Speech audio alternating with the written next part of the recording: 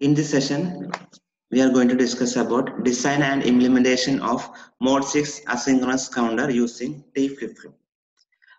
Mod 6 asynchronous counter is also called divide by 6 counter. That is, it, it, has six stable states. It counts from 0, 0, 0, 0 to 1, 0, 1 after that it initial it goes to 0 0 0 again. So it has three flip-flops. That is counting starts from 0 0 0 to uh, up to 101 so three digits are there. So we use three flip-flops.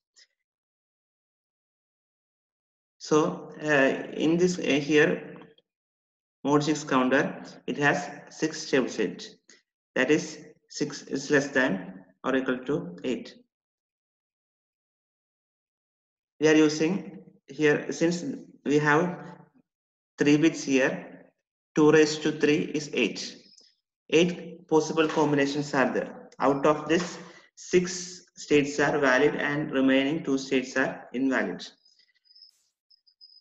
So in this 0002 101 are in are valid and 110 and triple one are invalid states.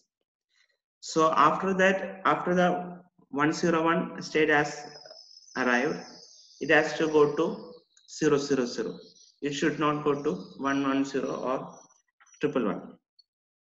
So what happens is after the seventh clock pulse is applied, the counter temporarily goes to 110 for a fraction of a second and resets to 000 with the help of a NAND gate. The circuit is shown here. Three flip-flops are used. When the uh, flip-flop is used in as a counter, we have to give input as 1 to all the flip-flops. We, here we are using T flip-flop. Since it is a asynchronous counter, we are giving external clock pulse only to the first flip-flop.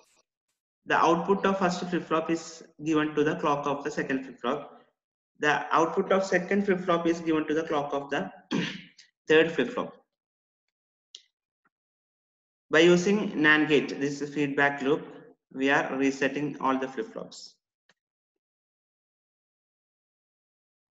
When the counter goes temporarily to 110, 110 means Q3 is 1, Q2 is 1 and Q1 is 0 that is 110 then both ones come to the input of NAND gate that is Q2 and Q3 will be 1 that both ones will come to the input of NAND gate so when both the inputs of NAND gate are 1 the output will be output of NAND gate will be 0 that 0 will come to uh, clock input of all the flip-flops so the flip-flops are reset to 0, 0, 0. All the flip-flops reset to 0.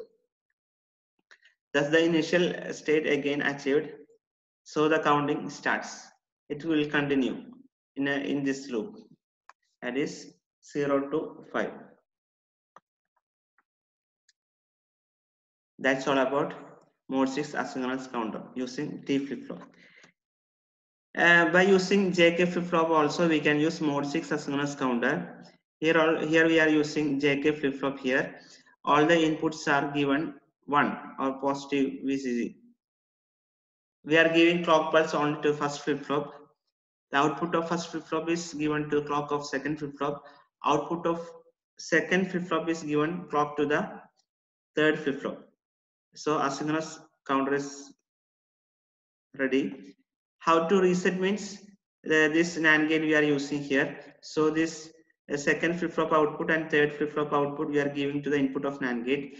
When the count is 110, the Q2 is 1, Q1 is 1, Q0 is 0.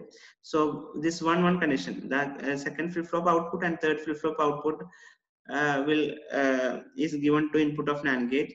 When 1 1 condition comes, the uh, NAND gate output will become 0. So the that 0 will apply to clock input of flip-flops and thus flip-flops are reset to 0. Again the counting starts. Thank you.